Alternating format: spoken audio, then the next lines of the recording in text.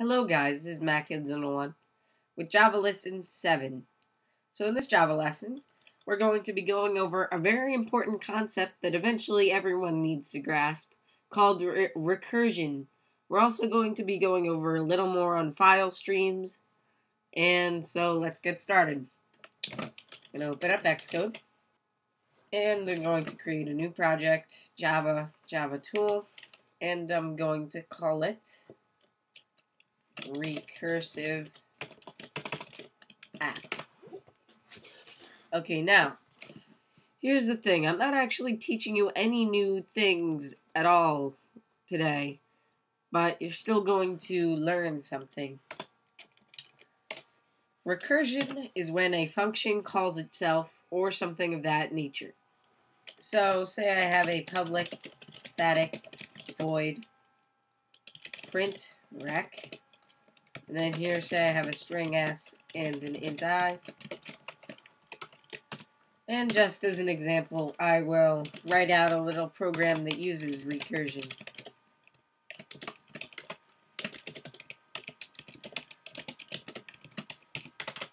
Now I will explain this to you in a second.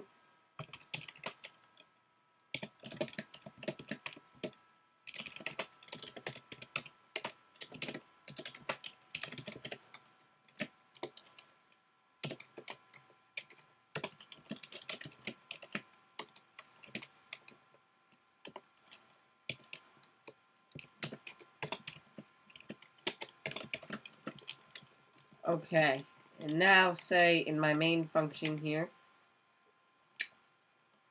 I call print rec again. Okay, now here's the cool thing. As you can see, say I make this, I'll just make it 3 to start out. It will call this function right here i will be 3 and s will be again.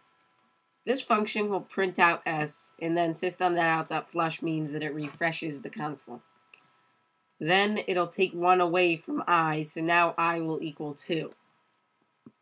Now it'll check if i is less than or equal to 0, then it'll not it'll just ignore and close. Otherwise, it'll call itself and print again with i being 2. So now we're back up here. s is still again, and i is now 2. So we print it out, i minus minus. Now i is still greater than 0. So we're going to call it again with i being 1. It does this again, i minus minus. Now i is equal to 0. So this function closes.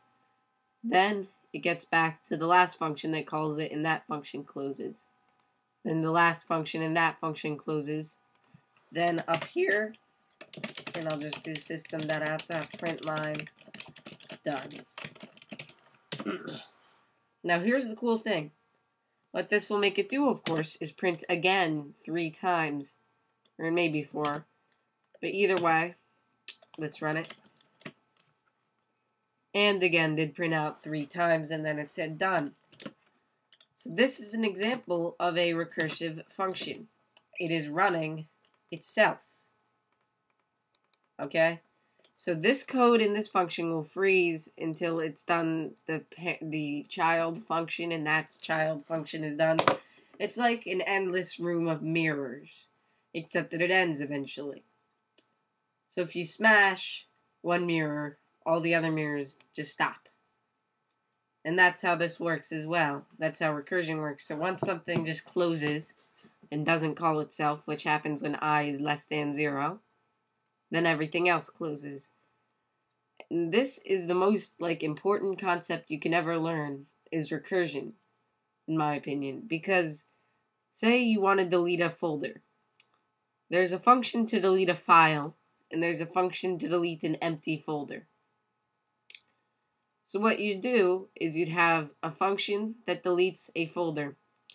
And that function, it would go through every file and folder in itself. And if it's a file, it would just call the function to delete the file. If it's folder, it would call itself again on that folder. So that way it would go into the next folder. So this is actually a hard concept to grasp, recursion, but I think you may understand from this point. So the way recursion works is that a function calls itself. So this is a very small lesson. So I just wanted to point out to you guys how recursion works. Because if you can't think recursively, then you'll never do as many amazing things as you could be doing. And so this is just an important lesson to learn on recursion. So anyway, thanks for watching MacHeads in One. Subscribe for more Java lessons and such. And goodbye.